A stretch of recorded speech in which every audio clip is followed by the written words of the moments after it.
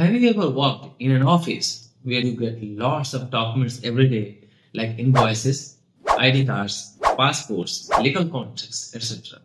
And your job is to open each file, read it, extract the important data, the required data from there and write it into the system. But what if I told you there's a smarter way to do all these things using UiPath and artificial intelligence? Hi, my name is Manish Pandey and I'm a senior RPA developer.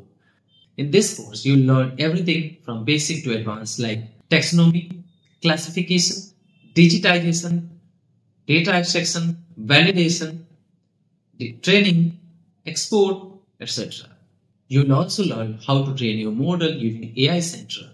You're also able to create classic projects, model project in the document understanding portal. You'll learn how to validate the data, the classification and training data using Action Center. You'll learn how to use document understanding process template.